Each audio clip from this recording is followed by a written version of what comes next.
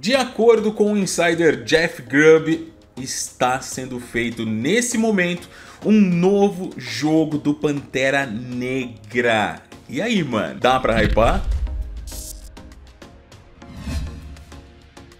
Fala fiotes, eu sou o Kalil e sejam todos muito bem-vindos a mais um vídeo aqui no canal Gamer Liu Games. Como é que você tá? Tudo bem? Beleza? Comigo, graças a Deus, tá tudo bem, né? Muito obrigado você por estar aqui já curtindo o conteúdo. É um prazer enorme receber você, sua família, seja nas lives, nos vídeos, é sempre muito bom. Então, antes de qualquer coisa, obrigado. Nesse vídeo nós vamos de Marvel, cara. Pois é, mano. Me parece aí que tem um novo game de de mundo aberto em terceira pessoa, single player, obviamente não anunciado ainda, mas que começaram a surgir, né, informações aí por conta dos insiders tal, e a gente vai falar um pouquinho sobre isso aí.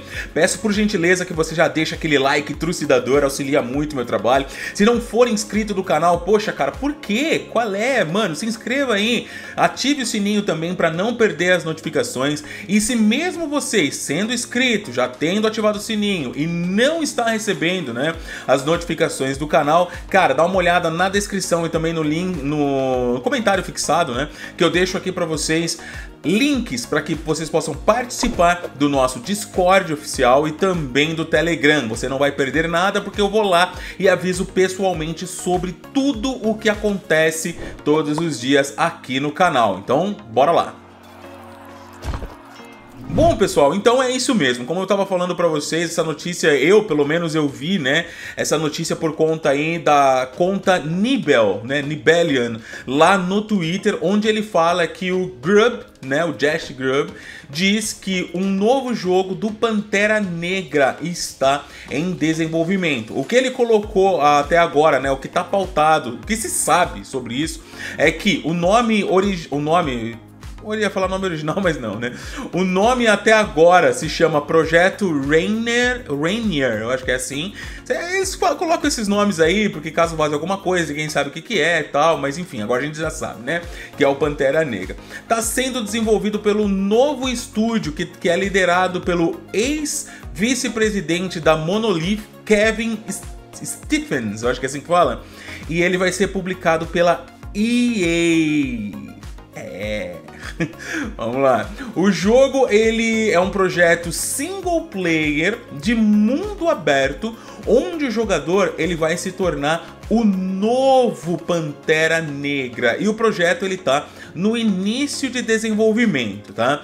Isso eu acho bem legal, pô, um lance de você não ter, né, um protagonista já pronto. Você tem sim o título, né, Pantera Negra, e quem conhece um pouquinho sabe que é, não é que qualquer um pode ser o Pantera Negra, mas ele não precisa ser necessariamente sempre uma um, um mesmo herói, né? Uma mesma pessoa tal. Então eu acho legal esse lance de você se tornar o novo Pantera Negra. É, é, tudo, tudo, tudo que é jogo, filme, série de início, né? De carreira, digamos assim, o nascimento de um herói é sempre muito legal. Então só essa primícia aí já me deixou bastante empolgado. O lance de ser single player, mano, adoro. Mundo aberto, eu também amo. Tomara que seja um mundo aberto vivo e cheio de coisa para se fazer também, né? O que o pessoal, o que eu tenho visto assim, o pessoal mais se preocupar é por conta aí de ser publicado pela EA.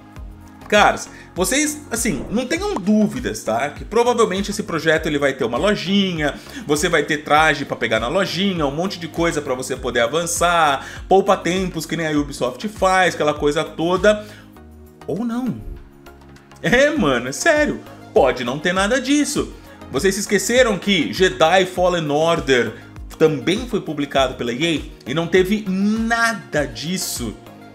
A gente ainda não sabe né, como que vai ser. Quando eles anunciarem, provavelmente eles vão falar um pouquinho mais em relação a isso, né? Mas Jedi Fallen Order, logo de início, quando ele foi anunciado, todo mundo falou, né, os produtores tal, que o jogo não teria nenhuma microtransação, nada para se comprar, aquela coisa toda, tal. E, e é verdade, mano o jogo ele é muito clean, é um sucesso e a gente, né, mal, né, ah, tá se aguentando aí para poder ver a sequência do game. Se os produtores do Pantera Negra fizerem da mesma forma, né? Se eles olharem pro, pelo que uh, o estúdio responsável ali pelo Jedi Fallen Order fez, né? E fizerem a mesma coisa, cara, é sucesso. Pantera Negra todo mundo ama, pelo menos, cara, das pessoas que eu conheço, todo mundo curte o filme, todo mundo gosta do personagem. É, ele, né, vocês estão vendo aí um gameplay do Pantera Negra no Marvel Avengers que é super divertido, na minha opinião.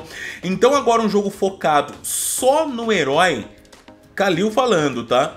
Eu acho que tende a agregar sim. A gente tem muitos games de heróis hoje em dia, né? Em produção também, né? Tem aí o Spider-Man 2 para chegar, o Wolverine, mano, Marvel Wolverine vai ser do caramba, tá ligado? E eu acredito que cabe sim um bom jogo do Pantera Negra. Não existe mais informações do que essas que eu tô falando aqui para vocês, né? Mas eu acredito que seja um jogo no mínimo bonito e divertido. O que eles precisam fazer?